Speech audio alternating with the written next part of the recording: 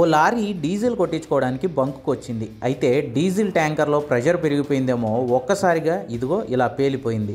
అంతే అందరూ పరుగులు. ఎందుకంటే వాళ్ళంతా ఉన్నది పెట్రోల్ బంకులో. మంటలు కానీ వ్యాపించాయంటే క్షణాల్లో అంతా కాలి బూడిదైపోతారు. కానీ పెట్రోల్ బంకులో పనిచేసే ఈ ఉద్యోగి ధైర్యం చూడండి. అసలు భయమే తెలియని దేవర్లాగా మంటల మీదకు దూసుకొచ్చాడు. బంకులో ఉన్న డీసీపీ ఫోమ్ లాంటి ఫైర్ ఫైటింగ్ సిలిండర్లతో మంటపై ఓ పెద్ద యుద్ధమే చేశాడు. మిగిలిన వాళ్ళు కనీసం సహకారానికి వచ్చేందుకు కూడా భయపడిపోతున్నారు. వచ్చినా ఇలా వెనక్కి తిరిగి పారిపోతున్నారు. ఈ కారు వ్యక్తి చూడండి. మెల్లగా కారు తీసుకుని వెళ్ళిపోయాడు. ఈవిడ తలుపు వేసుకుని లోపల దాక్కున్నారు. ఎవరి ప్రాణభయం వాళ్ళది కానీ ఇతను మాత్రం అస్సలు అలా అనుకోలేదు. ముందు మంటల వ్యాప్తి చెందకుండా బంకు వైపు రాకుండా చేశాడు.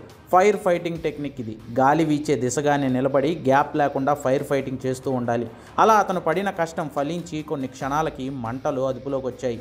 ఈలోగా మిగిలిన పెట్రోల్ బంకు సిబ్బంది కూడా సహకరించారు. అంతా కలిసి మంటలను ఆర్పిన ముందు నుంచి ధైర్యంగా మంటలు ఆర్పి పోరాడిన ఈ ఉద్యోగిని అందరూ ప్రశంసించారు.